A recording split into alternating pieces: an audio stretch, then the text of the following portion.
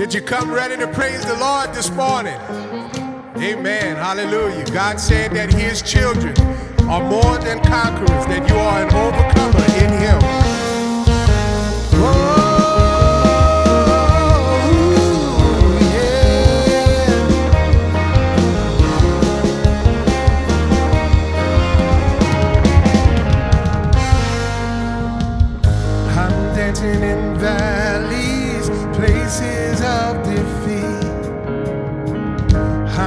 walking on dry bones. Death has no hold on me.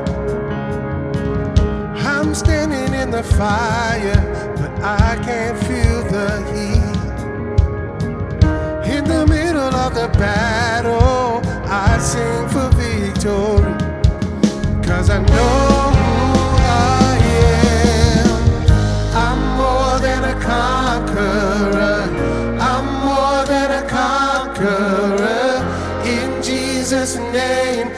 I can't do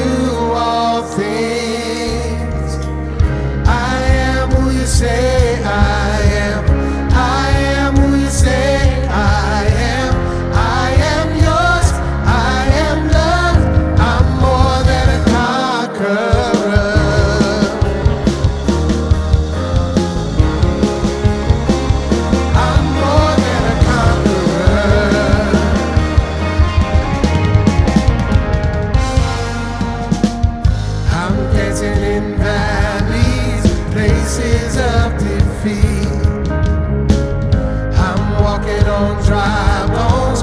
Death has no hold on me. I'm standing in the fire.